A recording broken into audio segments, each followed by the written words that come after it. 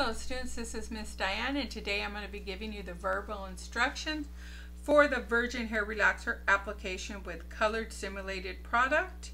The proctor is going to read, you will perform a Virgin Hair Relaxer application. You will apply simulated relaxer product on a single subsection of hair.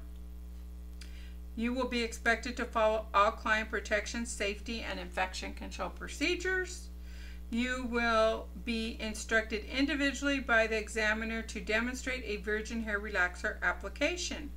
This is untimed section.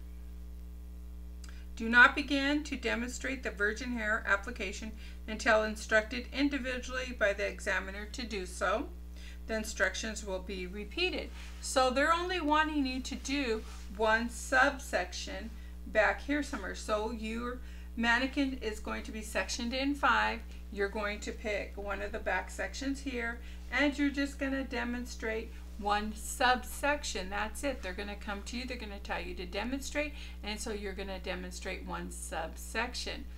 To get the whole um, procedure, go ahead and go to the Barber's State Board Chemical Relaxer Application, Virgin Application, and that's going to give you the demonstration on what they want you to do to one subsection. You only have to do one subsection again.